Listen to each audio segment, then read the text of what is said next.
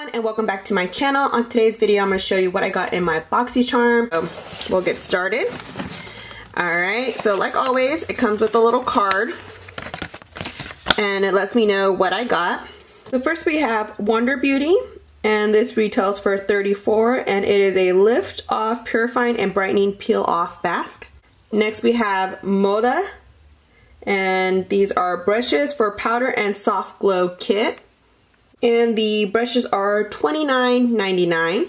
Alright, next we have Ofra. This is a long-lasting liquid lipstick. I really like Ofra lipsticks. Uh, this runs for $20. Next we have Appeal Cosmetics, and this was a this is a liquid eyeshadow, and this one retails for $21. And the last item I got is these color uh, this Cover FX this is Perfector Face Palette and this runs for $45.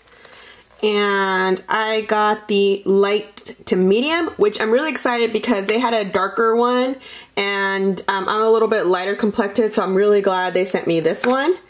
And that's what she looks like. That is so pretty.